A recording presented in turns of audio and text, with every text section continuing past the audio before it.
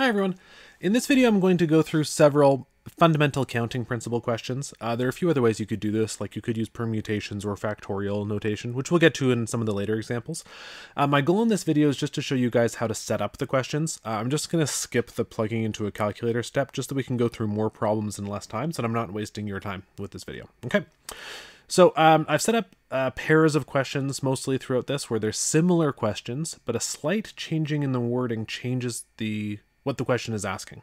And understanding those small differences uh, is actually kind of a big part of understanding counting questions. Uh, fundamental counting principle, permutations, combinations. All of these questions can change quite significantly with just small changes in the wording. So, for instance, we got two versions of this Mr. Armstrong wardrobe question. Uh, so I'm getting ready for student parent teacher interviews and I want to look my best to impress. I've got four shirts, three pants, and 10 different ties, and wearing a tie is optional. How many outfits can I make? Versus, same question, uh, different numbers, but he has decided he will wear a tie. Okay, so this is this is the change. He has decided he will wear a tie versus wearing a tie is optional. And that actually changes one part of the calculation quite significantly. In both cases, what we can do is we can do shirt. Uh, I've got four shirts. Pants, I've got three pants, or sorry, pants. I have three pants. Now for the tie, because wearing a tie is optional, it's not just 10 choices for the tie, because I could also not wear a tie. So there's 10 different tie choices, plus there's an 11th choice of not wearing a tie at all and then you just multiply 4 by 3 by 11. Okay, this one here, same idea, uh, different numbers. So in this case, we've got, uh, sorry, let's label this. Shirts, we have 6. Pants, we have 2.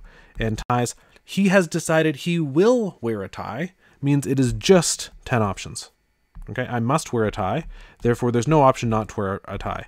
And I didn't include it in the question, but presumably I should be wearing a shirt and pants to meet with parents and students right? So that's not optional either. Okay, um, and then you just plug those into your calculator. Okay, this one I kind of like. This is uh, like I call this the Subway sandwich question. Okay, so um, Chamoy is ordering a foot long veggie delight, which means no meat sandwich from Subway, and blah blah blah, whole bunch of options. So this is sort of the same idea, right? So for bread, there are four choices. There are four choices for bread. Now for cheese, For cheese, you don't have to have cheese, right? We talked about this in class, right? Cheese is optional. Uh, uh oops, whoops. Sorry, I did not need mean to move that. So that is optional, but bread is not optional. If you don't get bread, you don't have a foot long sandwich. But cheese, you don't have to have cheese. You can choose not to have cheese. So there's three choices of cheese plus one choice for not having cheese. Okay. Now the veggies actually is there's there's 10 veggies here in this list. Um, but there's actually not just 10 choices and there's not just 11 choices, right? If you choose to have lettuce, that doesn't mean that you can't have tomatoes. You could have lettuce and tomatoes and spinach. In fact, you could have all 10 if you want, or you could have none, or you could have 5, or you could have 3, right? This is actually there's actually 10 different choices here right? There is lettuce, there's tomato, there's spinach, there's cucumbers, there's peppers, there's olives, there's onions, there's pickles, there's banana peppers, and there's jalapenos. And every single one of those, you got a choice. Do you want lettuce or do you not want lettuce? Do you want tomato or do you not want tomato? Do you want spinach or do you not want spinach? Etc. And so basically for um, not wedge, for veg, there's 10 veggies and each of those is a binary choice. Binary just means two options. You either yes or no to 10 different options. So it's 2 to the 10th. Or, I mean, you could, I guess, theoretically write out 10 different lines and do times 2, times 2, times 2, times 2, times 2, times 2. I'd rather just use the 10th power. Okay? And that's how you answer the Subway sandwich question. Bread, not optional, just the number of choices. Cheese is optional, so you actually need to plus one for not having cheese. And then the veg is actually a separate choice for every single vegetable, whether you want it or not. Okay, let's look at these dice questions. So these are very similar questions. It's just asking for um, a slightly different thing. So in Dungeons and Dragons, uh, players often roll multiple dice at once and add up the total result. Uh, to make reading the rules more simple, the D&D rules shorten this to XDY, where X is the number of dice to roll and Y is the number of faces on each die.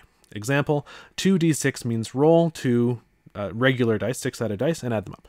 Okay, cool. How many different sums are possible? So how many different sums are possible versus how many different dice rolls are possible? Those are asking two completely different things. So how many different sums are possible means like what possible numbers could you get? So a 3d4, like the smallest, the smallest sum is getting 1 on each dice. So each die you get 1, so 1 plus 1 plus 1 is 3. The largest sum, in this case it's uh, 3d4, so uh, 4 is the maximum result you can get on a four-sided die, and you can you're rolling three of them, so the highest result you can get is 12. So from 3 to 12 is uh, 10 numbers, right? So basically, uh, 3 you want to include, so um, uh, 1 and 2 you don't want to include, right? You basically want to skip 1 and 2, but otherwise you want all the numbers up to 12. So you want all the numbers up to 12 except for the first two, which is why it's 12 minus 2. Okay, that's how we get that 10 numbers. And so 10 is the number of possible sums. This one, how many different dice rolls are possible, is literally saying, well, in the first die, uh, let's say dice uh, die number one, number two, number 3. So 3d20 means on the first die there are 20 possible results. On the second die there are 20 possible results. On the third die there are 20 possible results. So this is 20 times 20 times 20 or just 20 cubed. Okay. So those questions are asking similar but different things. Okay, here's here's another question where they're similar but different. Okay, um, Sadie's planning a summer road trip, starting in Saskatoon, stopping in High River, and ending in Kelowna. Sadie has five different routes between uh, so between Saskatoon and High River. There's one, two, three, four, five options, and between High River and Kelowna there are six options. One, two, three, four, five, six. So that's literally, uh, and then how many possible routes are there for Sadie's road trip in one direction? Uh, so S to H, there are five options, and then H to K, there are six options. So you just multiply those. Uh, this one's very similar, um, except the difference from this one is um, we're going and back again, stopping uh, same place, st stopping in in both directions. Sure. To keep it interesting, Noah wants to take a different route back on both legs of the trip.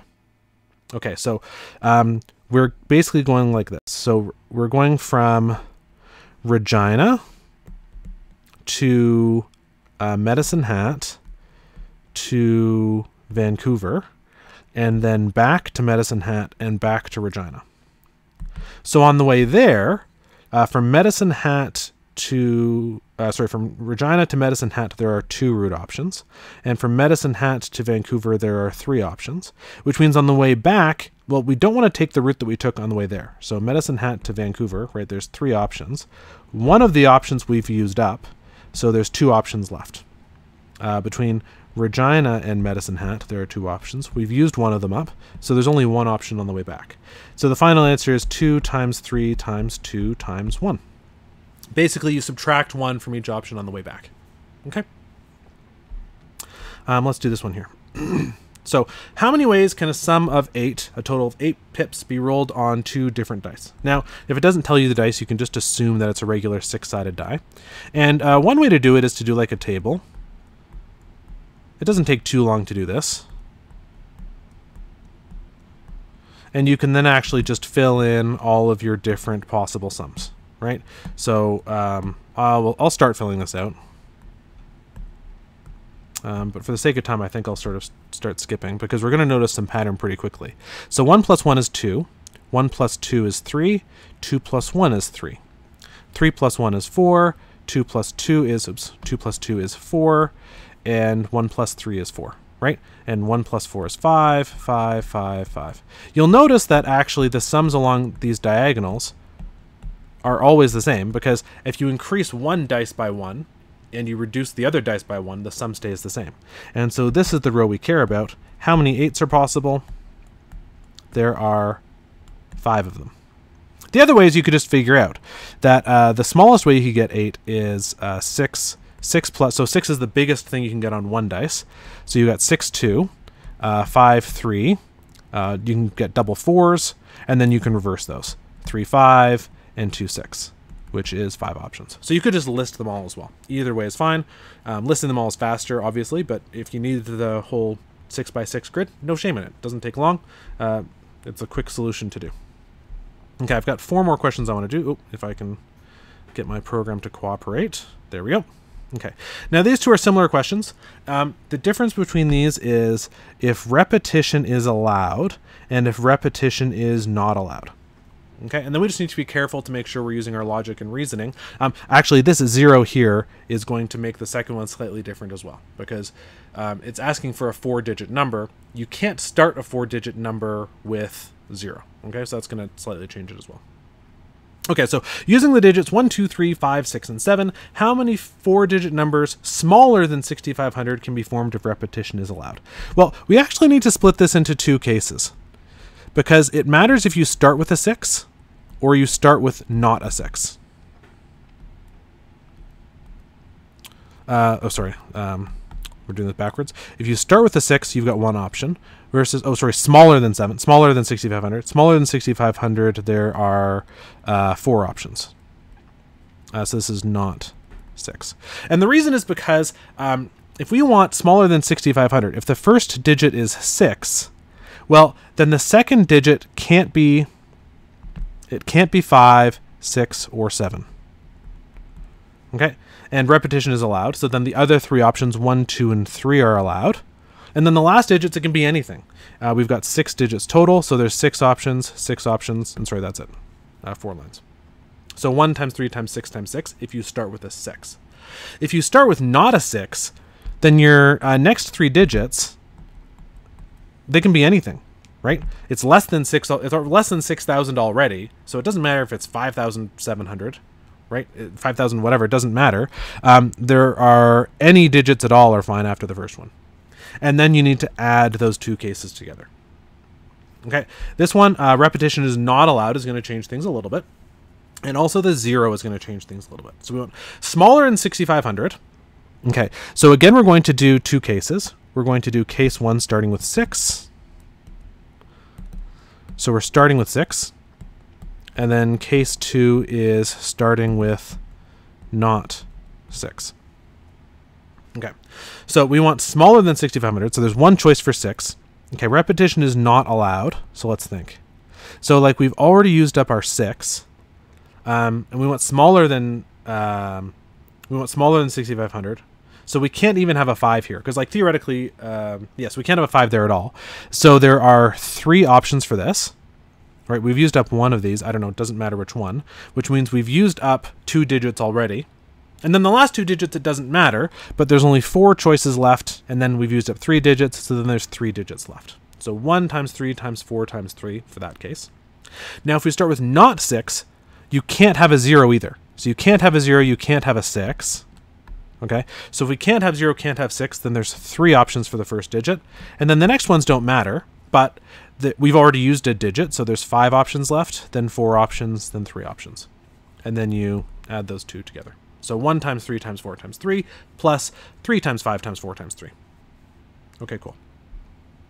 Now this one's the first one we might actually want to do with factorial notation because this is 1, 2, 3, 4, 5, 6, 7, 8 letters now we want to be very careful and make sure that we only have one of each. So I am actually a big proponent of actually taking the time uh, to actually write out every single letter and do a count, even if you're pretty sure there's only one of each, because it's very, very easy mistake to make. I still remember in grade 12, when I was in grade 12, I made this mistake of not noticing a double letter in a word. It's very, very easy not to uh, to miss a double letter. So just take the time, make sure that there's no double letters. Since there's no double letters, you could do the fundamental counting principle. So we're rearranging all the letters, one, two, three, four, five, six, seven, eight lines. You got eight choices for the first letter, seven choices for the second letter, then six choices, five choices, four choices, three choices, two choice, one choice. Or it's just eight factorial. This one, same thing, except we're told that the first letter must be H and the last letter must be E. Okay, and there are uh, six, in this case, there's six letters total. Which means if you know your factorial notation, you know that there's just four factorial possibilities in the middle, which is fine. Or you could literally just write your four blinds and say four choices, three choices, two choice, one choice. Okay, so I mean, I skipped the calculator step, but that is how you can do a whole mix of different fundamental counting principle problems.